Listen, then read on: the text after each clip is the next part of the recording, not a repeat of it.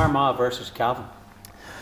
Well, the only uh, th- where do you go there? Uh, Armagh once again a very disappointing league campaign, um, relegated down to Division Three, the first time in, in, over 20 years that they've played in that division. And you know, Cavan on the other hand have come up from Division Three up up to Division Two, but you know, league form goes out the window when it comes to the championship. And you know, Armagh will have revenge on their on their minds when when it comes to playing Cavan um, after their defeat last year.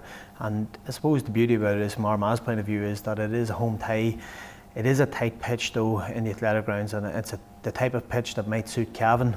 Um, when you look at their league final against Roscommon, Roscommon, you know, did spread the ball around a lot in a big open. open How big a blow was that to Cavan? The fact they've gone down. A lot of people expect them to beat Roscommon in that league final. Yeah, and, and they got off to a great start, but um, unfortunately they didn't build on that for, for, from their point of view. But Cavan, you know, they will take that with a pinch of salt. You know, as I said earlier on, league form to championship form is two different things.